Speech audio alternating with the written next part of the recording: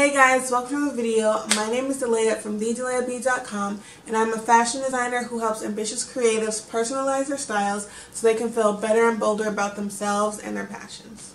My channel is about fashion design, style, and self, so if any of that resonates with your soul, go on and hit that subscribe button right now. So if you didn't know, we're in the middle of a five-part series about beginning to sew and what you as a beginner should know about sewing. So last week in part two, we covered the 10 essential tools that you'll need as a beginning sewer. These are the 10 items that you have to have in your sewing kit. This week, we're going to cover a few things that you need to know to not be a lazy sewer.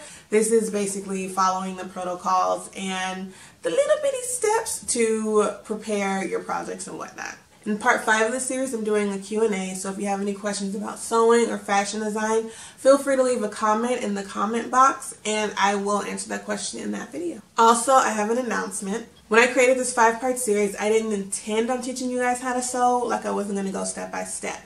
But I've been getting questions about specific sewing and like how to actually sew. So what I'm thinking about doing is offering a sewing workshop. It'll probably be two to three days, very beginner, very basic. So if you actually want to learn how to sew, very beginning steps, there is a link in the description box. You can click it and sign up. The details for the workshop are still in works, but if you want to be notified and alerted when it drops or when it's available, sign up.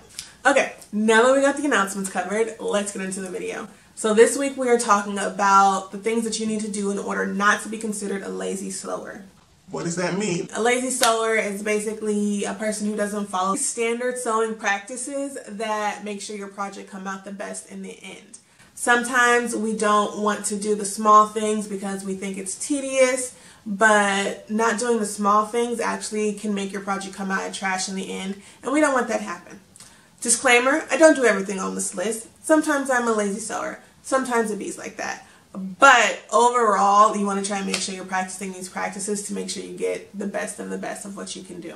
The first thing on the list is you want to learn the terms of sewing. In sewing, just like any other hobby or practice that you do, it'll have its own vocabulary, its own words that mean things because words mean things. You'll hear things like shears, seam allowance, bobbin, thread, selvage, cross grain, a whole lot of things. Things that you don't hear in your everyday life. And that's fine. But in order to be the best sewer that you can be, or even just follow along in a sewing conversation, you'll want to learn these terms. You'll want to get familiar with these terms.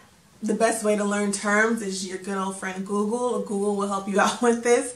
If you see something you're not familiar with, type it in, ask for a definition. Next on the list is you want to pre-wash your fabric. This means when you buy fabric from the store, you want to wash it first. Wash it in the washing machine, maybe even dry clean it depending on the type of fabric. What happens when you wash fabric is that it will normally shrink. Fabric have a natural shrinkage after it's hit by water and heat. It will most likely not be the same size when you take it out the washer dryer. So when you pre-wash, you are basically taking out that risk factor when you wash your final garment. If you sew a garment that actually fits you, it's made to your size, and you wash it afterwards, what's likely to happen is the fabric will shrink and it won't fit you the way it's supposed to or it'll just be too small altogether. And you want to make sure that you didn't go through all this blood, sweat, and tears to have a garment that you can no longer wear. Next thing you want to do is prepare your fabric and your pieces. If you just pulled your fabric out of the washing machine, out of the dryer, it's a very high chance that your fabric is wrinkled. So you want to take the time to iron it out, make sure everything is smooth. If you lay your patterns down on a wrinkled piece of fabric, what's going to happen is it's not going to be the correct size. Like maybe you have a little bunch of fabric right here, you lay your pattern on it, like you have this extra excess fabric that's in here. You don't want that. So you want to make sure that everything is flat and smooth when you iron it out to make sure that your pattern piece that you're cutting is the correct size. Beyond that, some garments, some designs require interfacing fusible interfacing, whatever type of interfacing. There's quite a few.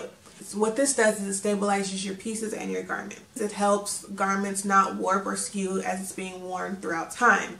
You want to make sure that you do this step so your garment will not warp or change throughout time. The next thing you want to make sure you have in order not to be considered a lazy sewer are the proper needles and the proper pins.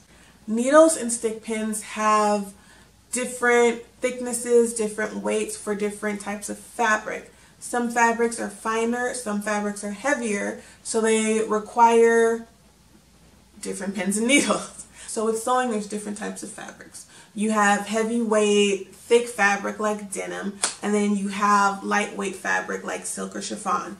Both fabrics should be used with different types of needles because if you use denim, you're going to need something strong to go through the layers, whereas with something finer like silk, you want to make sure that the needle isn't leaving holes behind. So this is why we require different needles for different fabrications. Also, different types of fabrics like knit require their own needle. They don't need a super sharp point, they need a ball point. So as you're buying needles, as you're buying stick pins, just pay attention to this. There are universal needles and pins that you can use that will generally work for almost every type of fabric.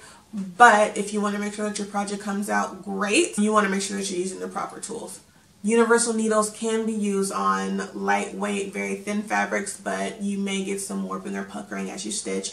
They can also be used with denim, but the more layers you use, the easier it'll be for them to break. So you want to make sure that you're using the proper needles for the proper project. The fourth thing you want to do is make sure that you are using matching thread.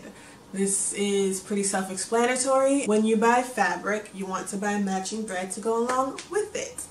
Color is a very strange thing. It's a very temperamental thing.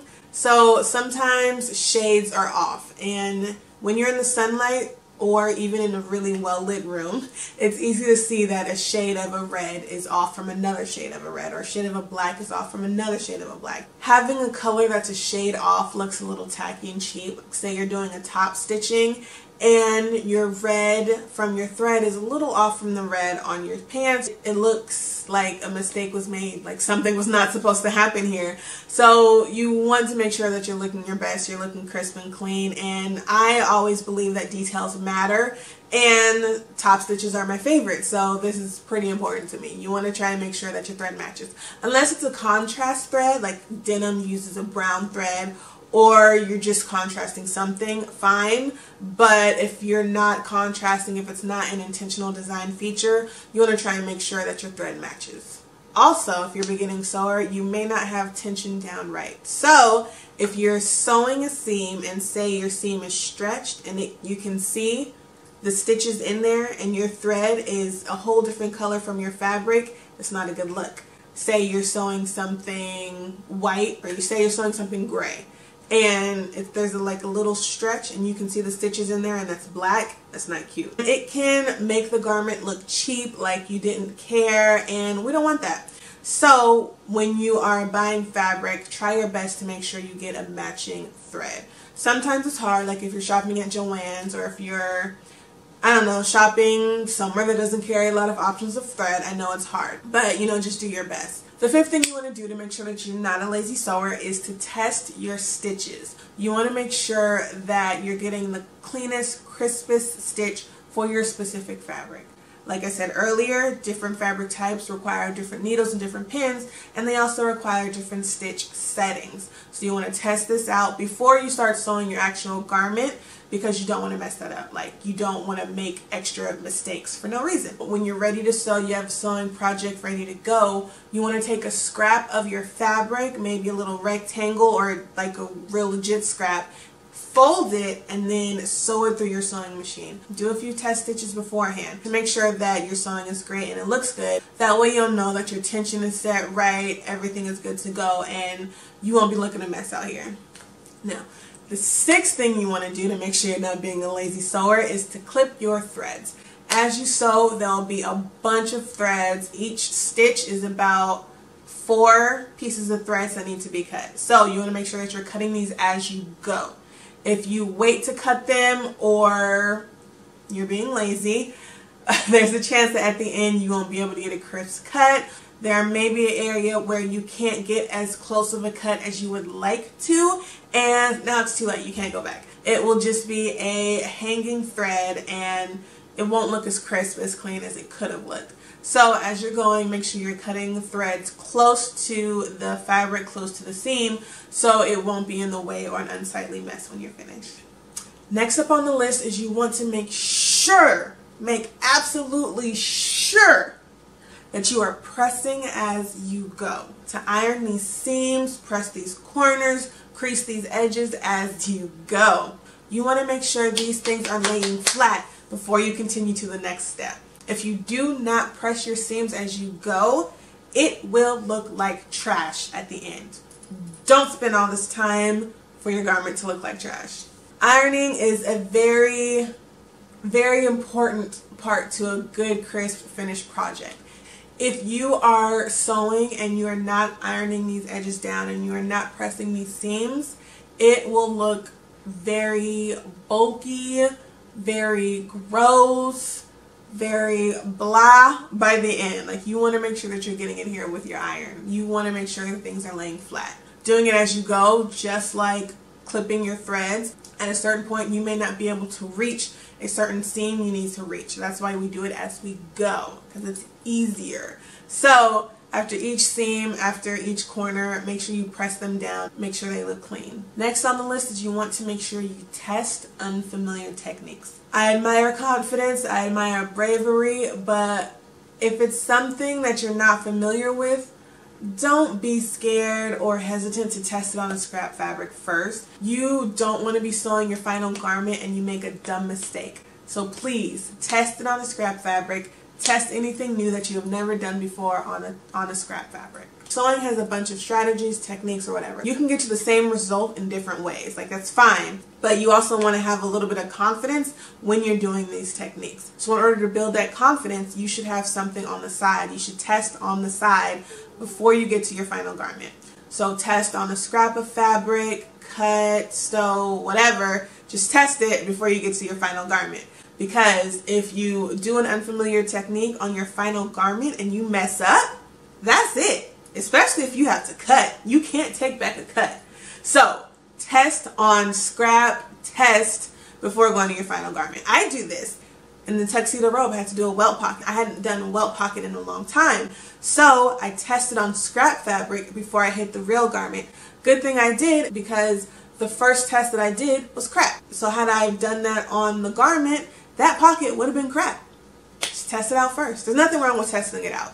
It's going to take extra time, yes, but it's better to be safe than sorry. And the last thing you want to do in order not to be considered a lazy sewer is to keep learning. Keep learning your craft, keep getting better, keep learning new techniques, keep challenging yourself. Whatever you can get your mind on, keep learning, grow. This is the best way to not be a lazy sewer. Don't be satisfied with where you are. Don't get stuck where you are. We don't do stagnant. We go up. We do better. It's a learning game. It's a long-term game. If you want it to be, like if you don't want it to be, fine. Like go sew your one thing over and over. But if sewing is something you want to be good at, sewing is something you want to go deep into, believe me, there's a lot you can go deep into sewing, into designing and all that. Don't be lazy. Learn something new. Test yourself. Challenge yourself. If you don't get it right, fine, good, whatever, what have you. Do it again. Do it over and over and over again. You're not going to get things off the bat. You're not going to get things straight away. But you will improve. With each lesson comes improvement. There's no failure, just improvement. There's no failure, just lessons. Keep going, keep trying, keep doing. So again, this is video three of a five-part series. Today we talked about 10 things you need to do in order not to be considered a lazy sewer. Next week, I'm going to share a few resources that you can hit up, look into, resources that you can use on your journey. This is things you can learn from, people you can learn from, people to follow, and all that jazz. So if you want more on that, come back next week. Subscribe to the channel and hit the notification bell so you know when that video drops. In part 5 of the series, I'm doing a Q&A. So if you have any questions about beginning sewing, techniques, or whatever, leave your questions in the comments and I will answer them in that video. Alright, so that's today's video. Thank you for watching. Until next time, guys, remember to stay safe and keep designing your best life. Bye.